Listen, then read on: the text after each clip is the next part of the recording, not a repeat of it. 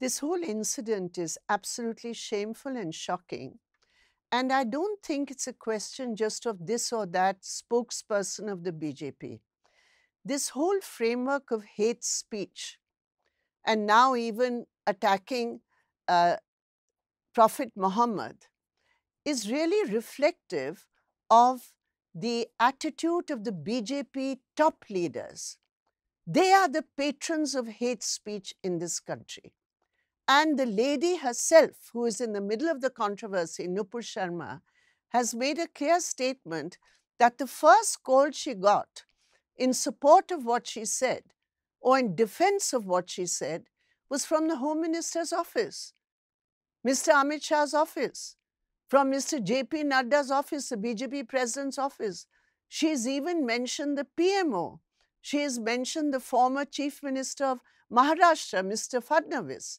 So, therefore, it is not just this or that person whom our ambassador in uh, one of the uh, uh, Arab countries has said is a fringe element. Who are you fooling?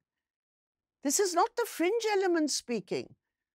These are people who are patronized by the top leadership of the BJP. Why is this person not yet arrested? Why is the Delhi spokesperson who's been expelled from the party, why has he not been arrested? This is a criminal act under the law in which today there are so many people who, when they criticize Modi ji, are held for sedition. And here, the entire world is condemning India. And these people, no action, no criminal action is taken against them.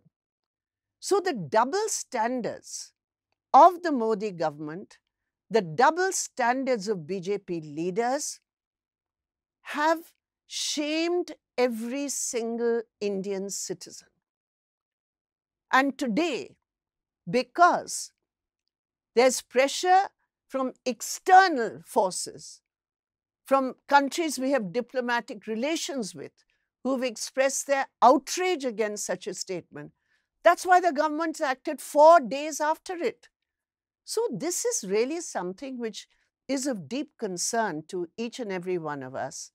And the only way I can see any kind of resolution for this is to fight against the BJP, to condemn them, to resist this kind of politics, and thereby to save India.